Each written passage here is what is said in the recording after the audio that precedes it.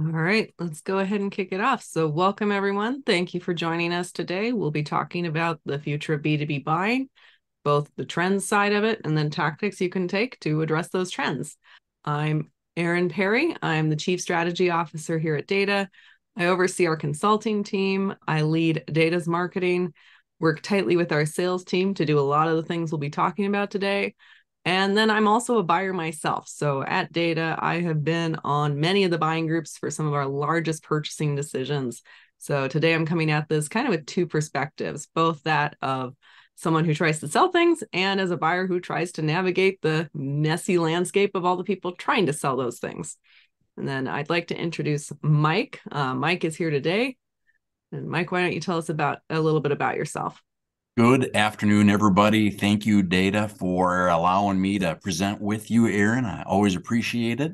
Uh, Mike Maanum with Sales Acceleration. I'm an outsourced fractional VP of sales, which means that I work with a few different companies at a same time, giving them all a fraction of my time and, and, and ability, helping them with their sales process, helping them with generating some ROI and working with them on their sales plan, sales process to help identify that. We're going to be going over a lot of fun stuff today, a very interactive approach to the topics that we're going over. Look forward to presenting. The couple of things that we're going to be going over today just is trends and, and tactics, creating that brand awareness, building buyer enablement, and becoming a sense maker, and kind of a fun topic that that we've come up inside of that, identifying that that sense maker is probably my favorite part of it. All right. And we'll get started by talking about your buyer today.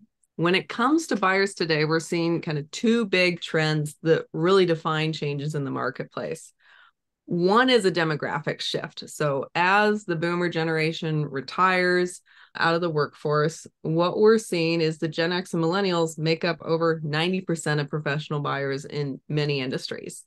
And this change in demographics gives rise to a change in how buyers want to interact throughout the buying process. And one way to think about this is the changes that happen in B2C purchasing and buying, B2B generally lags about anecdotally, I'd say five to 10 years behind that. So, what we're talking about today, for instance, the automobile industry has already been through, evolved through, and had to change to adapt to these buyers. On the B2B side, we're a little slower, but the demographic change is here and we have to adapt. The other big change is the makeup and complexity of buying groups. And essentially, business has gotten more complex in every single direction. There's more solutions on the market than ever. There's more complex needs organizationally than ever. And that has given rise to much larger buying groups of people. The average group is now five to 11 stakeholders. And those aren't stakeholders that are necessarily all immediately impacted by the solution they're seeking.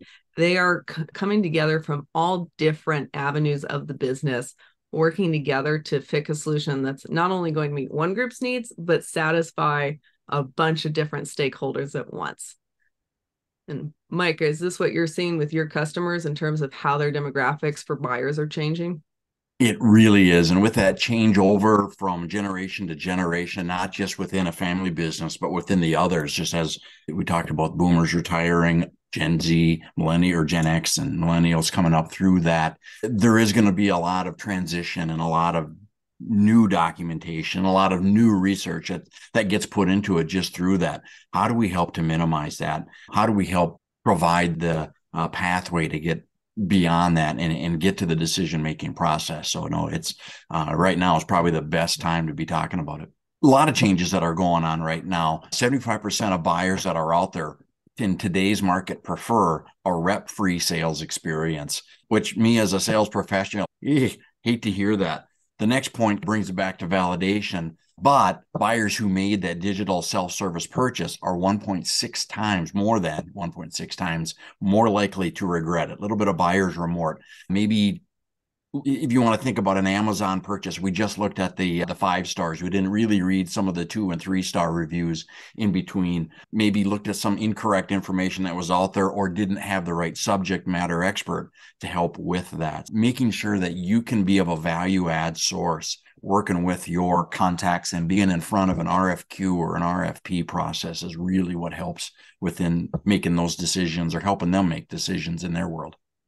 Yeah, I think these stats really bring to light just how much behavior has changed. What I've yes. heard historically from a lot of our customers is oh, my customer doesn't read online reviews. Oh, my customer just picks up the phone and calls me. Or, oh, mm-hmm. my customers find me through word of mouth. And the data is out there. That's not necessarily the behavior we see anymore.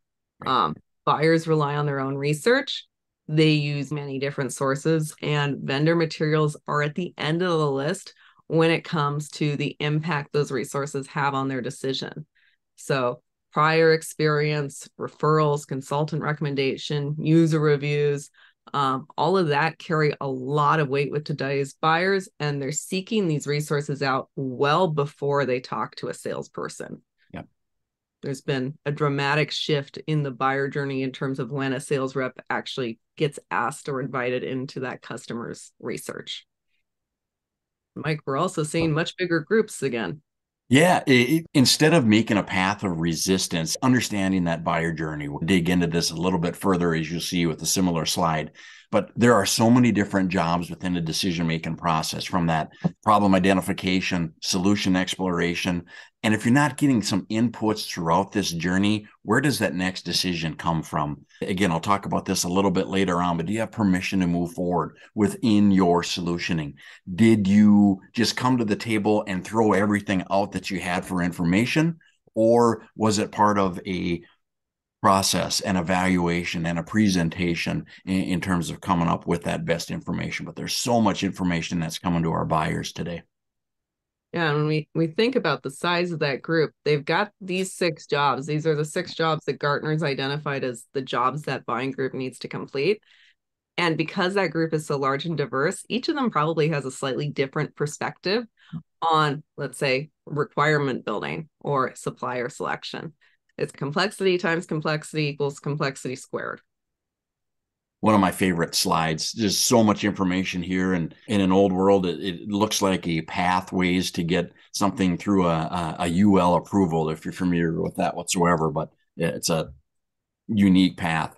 Uh, there's so many different things going on it, just as far as the amount of information that our buyers are getting who's it coming from when's it coming how often are they getting how much more um, information do you want to get from it? 44% struggle with the fact that the information from various suppliers again just an overload of information from where you start to the information you need to gather in between and how do you lump it together? And if you're not using other trusted sources uh, that have been through this before how do you start to make that that decision? It's it's a long slippery slope. It's a steep one when you start really layering in all of the subsequent information gathering process in making that decision how do we as buyers and marketers really start to narrow this down yeah, when we talk about a user journey, we like to think about it like we think of our pipeline stages. We want to think, oh, they go through A, they go through B, they go through C, they go through D. And what this research goes to show is, yeah, they go A and then they go B and then they go back to A and then they jump to C and then they go back to B. And it's this very convoluted, reoccurring cycle of activity. And at every stage, those buyers are getting more information and more data. And they think that's a good thing because they want more data to inform their decision. But unfortunately, the inevitable result is overwhelm. There's just too much information out there, there's too much complexity. And when we're overloaded, whether we're an individual or a buying group, we have basically three responses. One is that we choose not to make a change at all. We drop out of the buyer's journey and we stick with what we have because yeah. the pain of going through that journey is greater than what we believe the return on that journey will be. Um, so obviously, as salespeople, we don't like that answer. Number two is we respond to overload by choosing heuristically, which means we take a mental shortcut and we go with the brand that we know about. Um, most of us have an idea of who can solve our problem before we do any research. 90% of the time, that's the list we choose from. It goes back, if you want to go back a decade or more, the joke used to be hey, nobody gets fired by an IBM that's still true today where brand recognition often wins out over doing the hard work of figuring out who's the best fit for us. And then finally, the third, and the one that gives us salespeople hope, is that people will choose the vendor who helps them make sense of this mess on this slide, someone who helps them put this information into context. So, those are the three responses people are going to take when overload inevitably hits as a result of these buyer sizes. So, what are we supposed to do as B2B sellers? There's essentially three approaches that we need to understand and capture with our sales and marketing. Number one is we need to create brand awareness. The reality is there is a short list for our buyers. You're more likely to get chosen if you're on that short list. So, how do we get on the short list? How do we make our name synonymous with their problem? Number two is building buyer enablement. The customer is not always right, but the customer should get what the customer wants. And what the customer wants in this case is the ability to do their own research. So we need to meet them where they're at and we need to give them the ability to get through those six jobs as much on their own as possible. Eventually, they do need to talk to us. We don't want them to walk away unsatisfied and choosing the wrong decision, but we can't fight the fact that consumer behavior has changed and that salespeople are getting involved lower and lower down that funnel. We just need to we need to meet those needs with marketing and sales. And then third, we need to evolve to become not just solution salespeople, uh, not even just challenger salespeople, but sense makers. And that means that we don't just educate them on why our solution is best for them, but we help them take all of that data and information that they've gathered throughout this journey and we help them put it into context and we guide them through how to make that decision. Um, so these three things is what Mike and I will cover throughout the rest of our presentation today, and we'll jump right in kicking it off and part of your sales approach. This slide is uh, gathered out some information from Sales Acceleration from some assessments that we send out from over 3,686 assessments in 2022 that ask some specific questions. But 54% of small to medium sized businesses don't have a value proposition. Which means that sales team isn't hitting on all the same targets. The marketing isn't sending out that same messaging uh, from ownership to finance to operations and shipping everybody's not talking about the same things in a way that should be. Doesn't mean that it's negative. It's just it isn't in a consistent path. 73% don't know what makes their company unique. Then you might just be selling off of the cheapest price. So again, having understanding what that is only elevates what that value should be worth. 57% of companies don't know their competitors. If you don't know what makes you unique or how it's different from your competitors, then part of your value prop should be let me introduce you to some of my competitors as well. Having all three of these line up is how you get in front of that decision making process. Erin, what do you guys see on that? We see the same issue. Sometimes it's that the business has maybe not made some hard decisions that lead to having a concrete unique value proposition. More often though, I'd say that you you can tell that it's there and they just haven't vocalized and cemented it. But for us, this is always a place we start with our customers yeah. because unless you have a really solid value proposition, you don't have anything to build a brand story off of. And then you don't have anything to build brand awareness off of. We could put millions of dollars towards brand awareness, but unless you have a unique value proposition that drives that brand awareness, it's just going to be more noise on the market even from blogs and posts and anything like you might do from a marketing standpoint, it all starts with this initially. Yeah. I'm not going to spend a ton of time on this, but this is one way to identify that value proposition called the onlyness test. There's a lot of options out there on how you can get at a unique value proposition, but I'd stress the unique part. We have a tendency as marketers and as salespeople to want to do more and sometimes less is more powerful, less is more unique, and less will resonate in the mind of the consumer better. Um, and once you do have that unique value proposition hammered down, which I don't want to make light of it, that is an effort in itself. Um, that's when we can actually start to get on the short list. And that's when it comes down to how do we build trust and credibility with the prospect, ideally before they have a need. Once they have a need, they're in research mode. They've already got a short list. In order to get on that short list, we have to really understand who we're targeting and get in front of them. We need to be consistent. The data shows it takes about seven to 10 touch points, which includes marketing and sales, before a customer trusts you.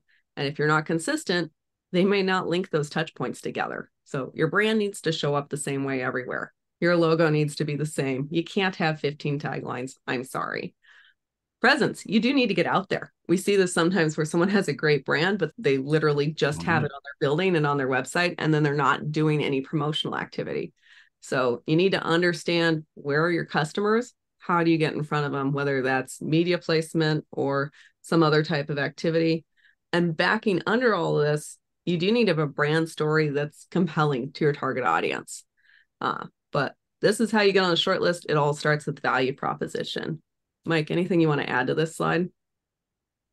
We were chatting about this earlier, and my point was you can train a goldfish to come to the back right corner of a round bowl if you feed them the right food and put it into the same spot every time. That's your brand, that's your messaging, and that's your style that you're you're putting out there. So uh, I'm not saying that we're goldfish. What I'm saying is that we also have to do it in this marketplace. So no, it's you're definitely right. You can have that greatest information if you don't talk about it, if you don't get it out there, if you don't post it, and if you don't work within those referral circles, what do you have?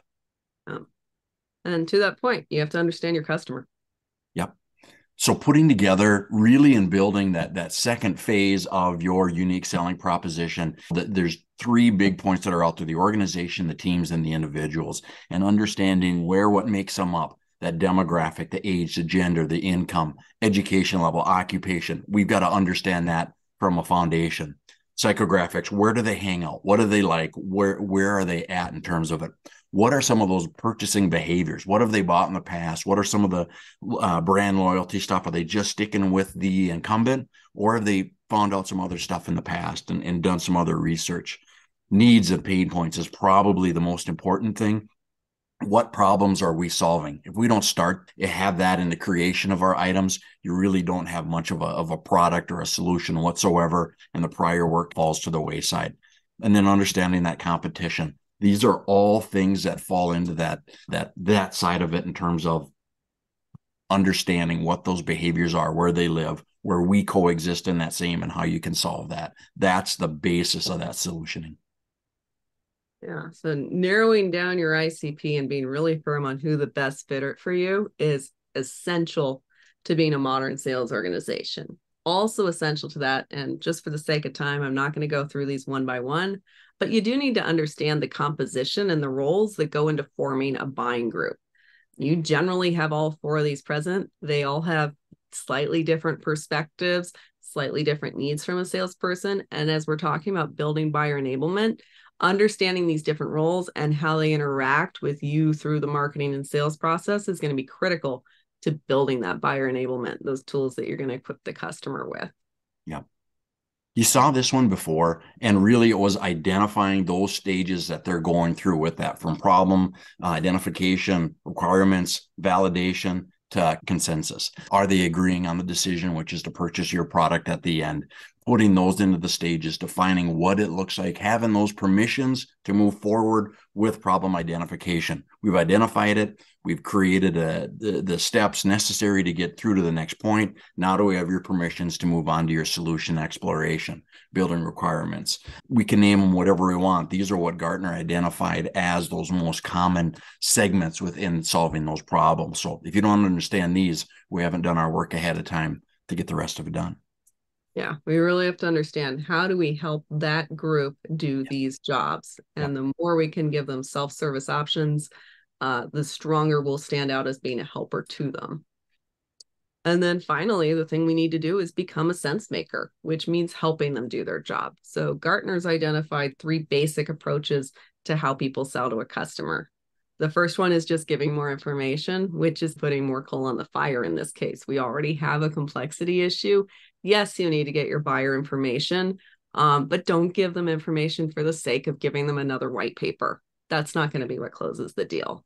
Yeah. Another approach is being a little prescriptive and telling them this is what you need because I know. And that doesn't generally build trust. That feels a little shallow, and everybody knows that you're going to recommend your own solution at the end of the day. That's your job. The third approach, that's what a modern sales organization needs to embody, is this sense making approach, which is saying, hey, yes, it's a vast, complicated landscape and you have a ton of information. Let me put that into context for you. Let me tell you why my competitor is good for this group of people and why I'm good for this group of people and how our solution is built differently. Mm-hmm. Um, it's simplifying, not adding more complexity. Mike, I think you have some specific advice on how to think about that. Yeah, this is a fun slide and, and something to consider that phase three of what we're we're now becoming that sense maker. And this is what we do. We may have done this a hundred times within the last month. It's our buyer's first time going through this solution. And we're there as the expert to help them make a choice in the options that they've got in front of them. What we're doing is we're, we're allowing them to, to make that decision on their own based on the criteria that we've gotten, but we've helped get them that right information in between. And again, identifying those steps, removing the paths of resistance to get there, giving them the correct, credible information, and showing them the results and validation of what happens when we do that. Sorry, I fumbled there. oh, no, I think this slide is really about how do you create that clarity and understanding, which to your point, you've helped people make this decision over and over again. It's less about telling them to make the decision and choose you. It's about telling them what they need to know along the way as they make those decisions. Yeah. What are the pitfalls customers fall into and why? What are the things they're not considering that they should be? And again, why is a competitor potentially a good fit for them or potentially a bad fit for them? Yeah and then finally giving those customers a way to verify your word that's not just your marketing materials but potentially connecting them with another customer who's been through that journey.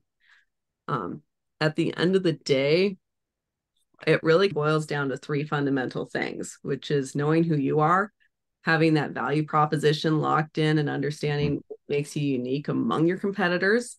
It's knowing who your best fit is who that unique attribute should attract the most and who should get the greatest value from it, which means saying no to some customers. And not everyone's going to be a perfect fit, and we have to be okay with that. Yep. And it's being honest and upfront about both of these points. One of my favorite things to do as a buyer is to ask a prospective vendor about their competition. And if they can't tell me some strong points about their competition, I know that I maybe can't trust their advice as well as I'd like to. Yeah. Um, it's the buyer will make the best choice if you equip them to make the best choice and you should trust them to do that and equip them to do that. Yeah. does that line up with what you're seeing in your clients mike the ones who are it is so true with that. Again it's it's giving that information and yeah you can't be a perfect fit for all of them. But if we can click the majority of the boxes to fill what they're looking for in, in the best possible way, that's a home run. And we're going to do the best job that we can to be 100% best for them.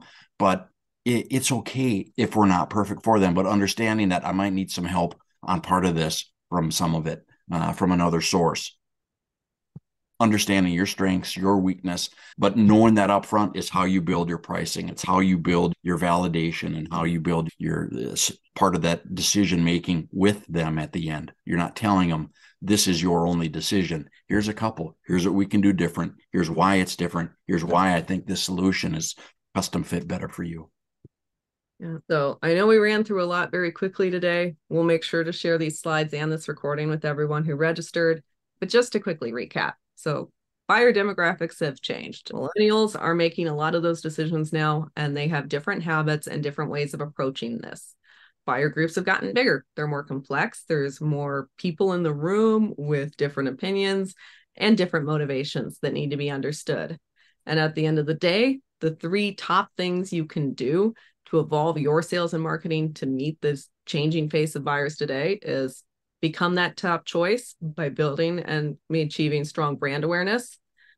Meet buyers where they're at by building out buyer enablement that helps them complete those six sales jobs and help them do their job once they do talk to you by being a sense maker not giving a prescription but helping them understand the choices they're making and putting them into context.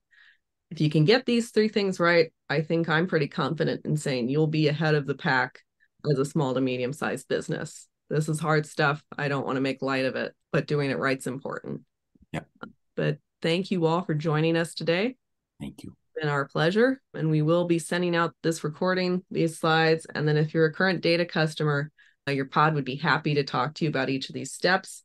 If you're not a current Dayta customer or a current sales acceleration customer, both Mike and I would be happy to talk to you about how your organization can achieve some of these outcomes.